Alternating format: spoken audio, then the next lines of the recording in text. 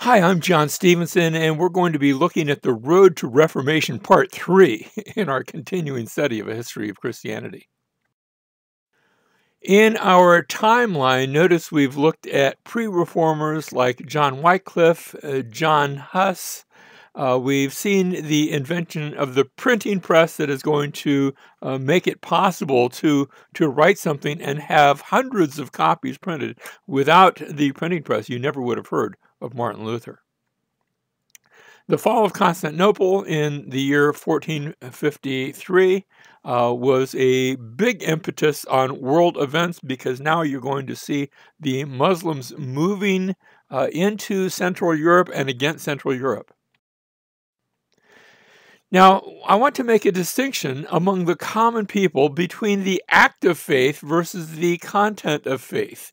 You have the term uh, fides qua, faith in uh, the faith with which you believe, versus the fides quae, the faith that is believed. Notice one is just talking about the faith that you have, and the other is the the faith that has content.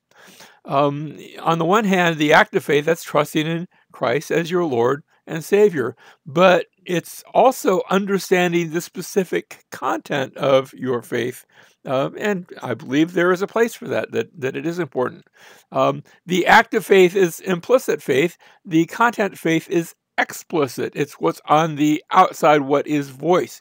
The act of faith is what most people had in the medieval world. Um, the content of faith was usually reserved only for the theologians, especially in the West. Now, the hierarchical structure of the church was such that you had the pope, and then, of course, there were cardinals. I don't actually show them, uh, the bishops, and then under them, you had both what was called the secular clergy as well as the regular clergy. The secular clergy, those are the priests, uh, and then you have the monks, or remember the monasteries. Um, and some of these were contemplative orders, and then some were mendicant orders. Remember the contemplative orders, uh, they would be there to spend long periods in prayer and in meditation. Uh, they would be within the monasteries. The mendicant orders were more the begging orders. They were out among the people. They had to be there if they were going to beg. You also have by this time a liturgical calendar that has grown up. Uh, the monasteries, of course, would have regular times of prayer, but then the week was focused on Sunday. Uh, so every every week you have that special day. You also have a liturgical year. Um, there were special days like Christmas and Lent, the time leading up to the the uh, remembrance of how Christ had died. Good Friday uh, the culmination of Lent, uh, the celebration of Easter, very known to most Christians even today. Pentecost was an important uh, time for the church. Uh, where they would actually remember it. it. You had Christmas and you had Easter and you had Pentecost, perhaps the three most observed, uh, or, or I should, should say the three most observed, the three most important uh, festivals and remembrances of the church. But then there were other special days as well that had grown up all throughout the year. When we get to the Fourth Lateran Council, 1215, we have by this time seven sacraments. Uh, initially, you had just baptism and the Eucharist. Remember, the Eucharist, that's another term for the Lord's Supper. Uh, you have those in the in the Bible itself, and very early in the church, you can see those recognized. But added to those had been the ideas of penance, doing something uh, for the forgiveness of sins, a confirmation.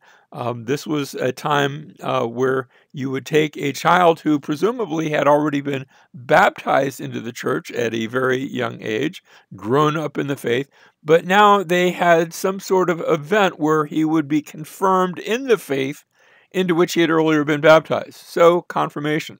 Uh, matrimony, uh, marriage uh, was something you see all throughout Old and New Testament, but by now it had taken on the role of a sacrament. Extreme unction, this uh, this final assurance at forgiveness, uh, forgiveness and confession as one lay upon their deathbed, and then holy orders. Again, you see the idea of, for example, uh, elders and deacons and those that were uh, that were taking uh, these positions in the church, but now it had come to assume the role of a sacrament, something that bestowed grace. You also have the church calling for acts of mercy, of such as feeding the hungry, giving drink to the thirsty, visiting the sick, clothing the naked, visiting the imprisoned, accommodating the homeless, burial of the dead. All good things. Now, some are more in need today than others, but all good things for which Christians can be involved. Another doctrine that had risen up over the years was the doctrine of purgatory. You had by the third century uh, prayers for the dead there's actually a reference in 1 Corinthians chapter 15, verse 29, where Paul, uh, he's not really talking about that. He's, he's speaking in the context of resurrection, how we know there's a resurrection. And in passing, he has a one verse comment uh, Why then are prayers made for the dead if there's no resurrection? Uh, and of course, in context, he's talking about those who are who are actually being put to death, dying because of their faith, persecutions. Um, and so I'm not sure that that his reference to prayers for the dead means the same thing as what uh, was taking place in the third century. However, that's the biblical, that's the one biblical reference uh, that's made there. Now, an, a number of arguments had made against soul sleep, the idea that that you die and then you wake up uh, in heaven with the Lord. Um, Tertullian had argued that souls would pay the last cent. He's taking that from Matthew 5 26 and, and uh, Luke chapter 12, verse 50. And, and, certainly, we don't want to negate anything that Jesus or the scriptures uh, say about that, that there is a, a, a final judgment. Um, martyrs were thought to enter right into glory without going through uh, any intermediate uh, state. Gregory of Nyssa taught that after death, souls could be purged by a what he called a purifying fire. I'm not sure exactly what he meant by that. Augustine cited 1 Corinthians chapter 3, verse 15, about a man being saved as through fire. And, and again, he, he, he said, you know, what, what does that look like and what does that, what does that mean? Now, the idea that purgatory is an intermediate place came about much later in the 1100s, in the late 1100s. Uh, Aquinas cited 2nd Maccabees chapter 12, verse 46, as proof of purgatory, um, where it says uh, it's, it is a holy and wholesome thought to pray for the dead that they may be loosed from sins. Um, and I think that um, the books of Maccabees are good for history. I'm not sure that I would take my theology from them. It was given status of a church doctrine in the First Council of Lyon. This is 1245. So, so the doctrine of purgatory comes very relatively late, I should say, to the church. You know, you, we we had talked about the doctrine of Trinity uh, many hundreds of years earlier, and other doctrines of the church. But so this this is coming late to the church. Now I want to move to Renaissance humanism, uh, the Renaissance, that rebirth of ideas that had been looking uh, at the classics and rediscovering the classics and say, uh, saying, we need to get back to that source. Now, that Renaissance humanism was religious in nature because all of those that were involved in, or just about all of them, were professing Christians. Uh, it was a reaction to medieval scholasticism that had seen uh, the the authorities, you know, when, when you would engage in, in medieval scholasticism, you would gather all the authorities that had written on a particular topic, and you would pit them one against the other to see how uh, how they how they filled in and answered the questions, uh, sometimes in seeming contradic- uh, contradicting ways. But this was a reaction now to go instead of to those those uh, scholars to go back to the source from which their scholarship had been derived. And so it was a desire to return to the Greek and the Latin classics, and even we're going to see, even when it comes to the Bible, even to the biblical you know, you say biblical classics, the original uh, biblical writings, the Greek and the Hebrew. We're going to see how that plays into it. Um, now, the Renaissance writers viewed the more recent times as the Dark Ages.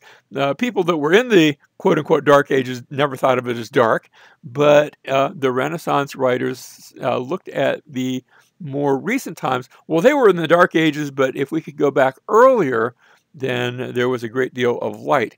And of course, they were talking about the, the Greek and Latin classics.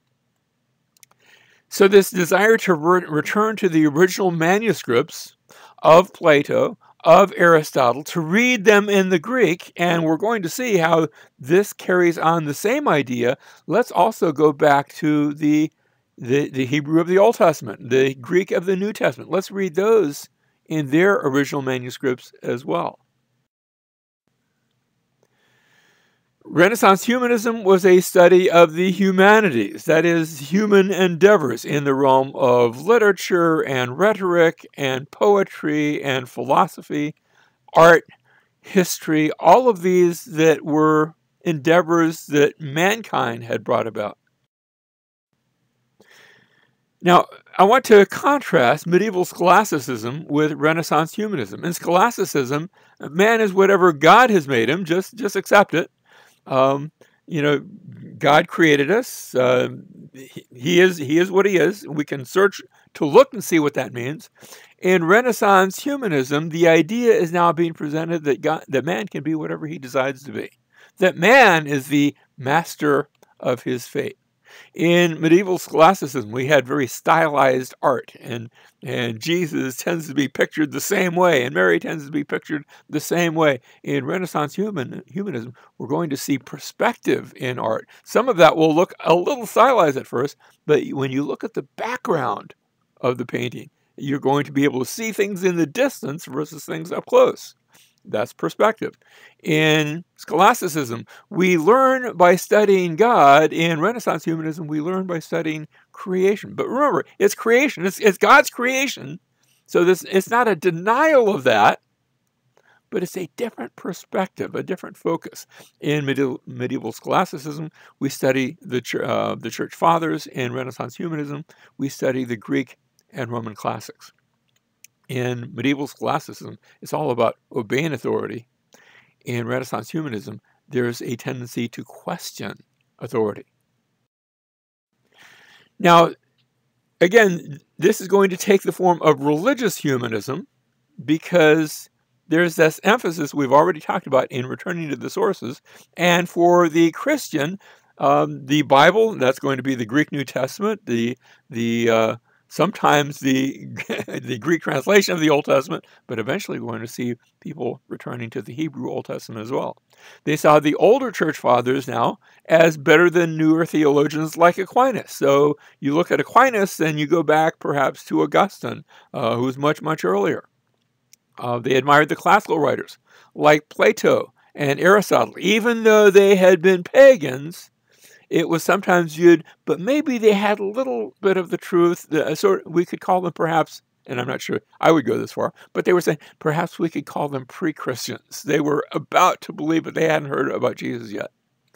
Uh, and so they would read the Bible through the eyes of the classics. They noted, for example, in John chapter 1, verse 1, in the beginning was the Word, and the Word was with God. And the word word there, uh, the Greek word logos, is a term that Plato uses to describe uh, the supreme uh, sort of thing that, that puts the universe in order. And they were saying, see, Plato got it. Plato understood. And uh, this is a view that takes a very high view of mankind um, because he's made in the image of God. And and to a point, I think there, there, there's there's correction now. Now, I think man is a fallen image. Uh, I think there are some issues with that as well. The premier religious humanism was Desiderius Erasmus. Uh, he was the illegitimate son of a priest. Uh, his parents had died of the plague early on, and so in 1492, the same year that Columbus was discovering America, Erasmus entered the priesthood. He studied Latin and Greek. He never did take Hebrew, uh, but he is going to become a humanist and taught at Cambridge uh, in, in England. Um, in 1509, he visited Rome. It's interesting to look at the the life and and life flow of Erasmus and then compare it to Martin Luther, who, by the way, also studied uh, Latin and Greek. Eventually, he did Hebrew as well. Um, who also was a professor, who also visited Rome. Um, it's it's interesting how alike these two men were. In 1511, Erasmus published In Praise of Folly. It, it's a satire and it's, uh, it talks about church superstition. Uh, it's dedicated to Sir Thomas More, uh, the future Lord Chancellor of England, and there's a play on his, on his uh, name uh, because uh, the term more, more, or more, is the Latin word folly. So, in praise of more, because remember, it's, it's written in Latin. Uh, it's dedicated and plays with his name, uh, and yet deals with looking at, at the superstition that had grown up around the church. So it's a it's a bit critical in a satirical way of the church. He says uh, almost all Christians being wretchedly enslaved to blindness and ignorance, which the priests are so far from preventing or removing that they blacken the darkness and promote delusions. Wisely foreseeing that the people, like cows, which never give down their milk so well as when they are gently stroked, would part with less if they knew more. Now, he also writes uh, Education of a Christian Prince. Remember how Machiavelli had written uh, the book The Prince, uh, and Machiavelli had said, you know, for a prince to be successful, he has to lie and cheat and steal and, and never tell the truth and, and, and do all these bad things, and then he'll be a successful prince. Well, um, he's writing this as a rebuttal to Machiavelli's prince, and he says, you know, it's better for a prince to be loved than it is to be feared and that he can accomplish more by motivating his people as he serves them, as he loves them, and as they love him. He calls then for a rise in general education, that, that the more educated people are, the better citizens they will be, and the more productive they will be, and the happier they will be. He also writes a satire entitled Julius Excluded from Heaven. The Julius in, in the title is actually Pope Julius, and in the story, he dies and he goes to heaven and he gets there, and St. Peter turns him away. Uh, after all, Julius has not acted like a Christian. He, here he is, he's the Pope, but he's acted in a very non Christian way. And uh, Pope Julius says, "Well, who do you think you are to deny me? You're just a fisherman. I am the Pope. I am I am governor of the papal territories and and over the, all of the church." And so Julius plans on making his own heaven. I don't need Peter. I don't need heaven. I'll do things on my own. Now, in 1516, and this is just the year before the Reformation, Erasmus publishes a Greek New Testament with a Latin translation. This is the first Greek New Testament that had been published since the inventing of the printing press. There was actually a race on. There was some folks in Spain that were trying to publish uh, a Greek New Testament as well, and so it was up in the air who would do it faster. Uh, frankly, Erasmus rushed through to, to win the race, uh, and so his first edition uh, did have some errors in it. Uh, now, the Latin translation because he added his own his own Latin translation that differed in places from the from the Vulgate. Uh, for example, it says uh, instead of do penance, do penance, uh, Matthew chapter three verse two, which is what the Latin Vulgate said, uh, said, "Be turned to me." You know, we we would just uh, translate that repent, um, turn uh, turn back to me, be turned to me. Um, now, it did not include First John chapter five and verse seven. Now, that's a a, a, an interesting passage. It's a passage that talks about um, the Father, the Son, and the Holy Spirit, and these three are one. And it's a doctrine that upholds the Trinity. It's a verse that upholds the Trinity. Um, and you say, well, why did not Erasmus put this in his Greek text? It's because it was not in the Greek texts, the Greek manuscripts that he had. And so he did not include it. uh, in his first two editions. And um, also, when he came down to the the last few verses, the last six verses of the book of Revelation, he all of he had about five or six different Greek manuscripts, and they had different portions of the New Testament, but none of them had those last six verses of the book of Revelation.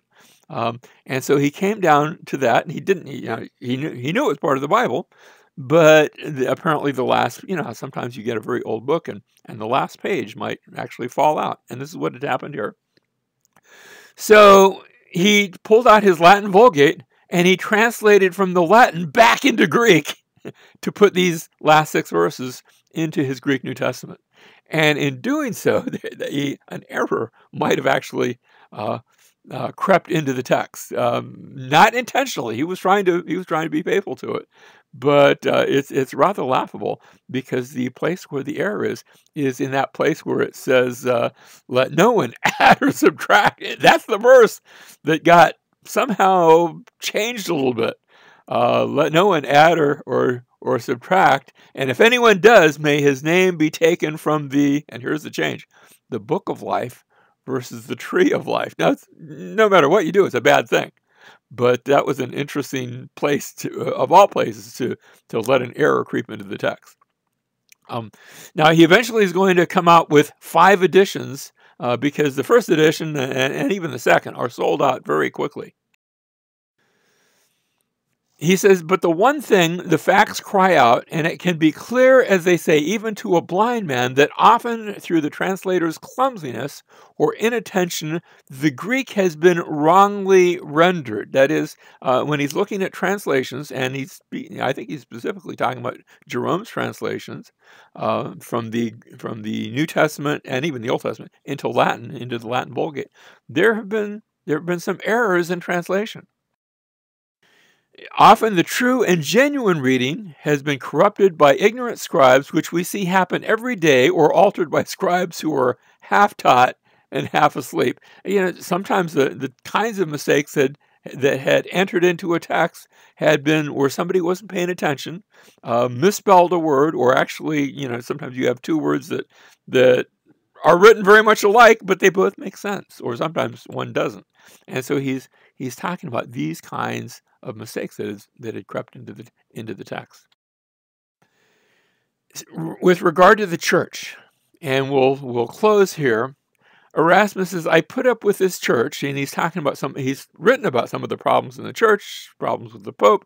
He says, I put up with this church in the hope that one day it will become better, just as it is constrained to put up with me in the hope that I will become better. I love those words it has been said that Erasmus, and actually it was said back in his day, uh, some monks accused uh, Erasmus, he said, Erasmus laid the egg that Luther hatched.